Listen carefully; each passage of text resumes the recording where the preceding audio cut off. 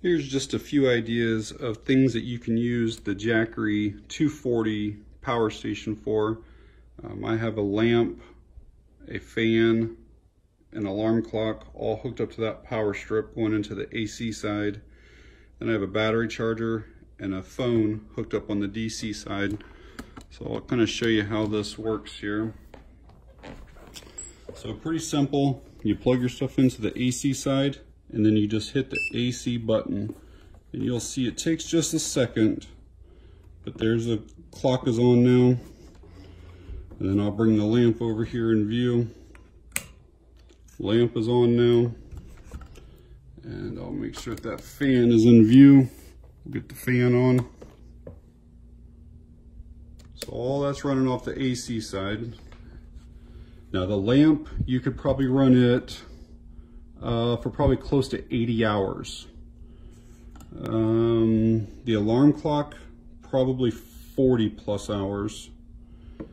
Uh, and then the fan is only probably 10 or so hours because, well, it depends on which setting you have it on, uh, but close to 10 hours.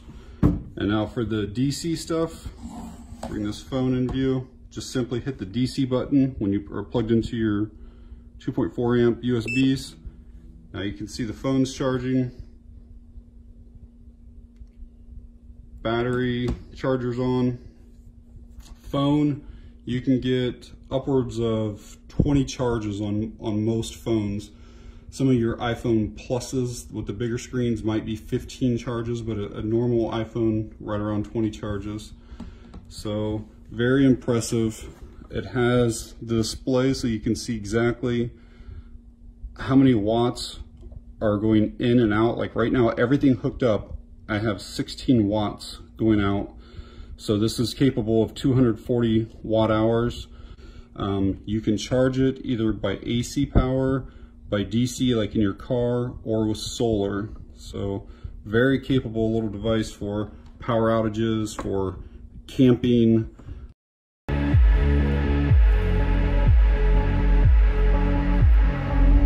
As content creators and world travelers, Jackery portable batteries are essential to ensure we are ready to capture every moment.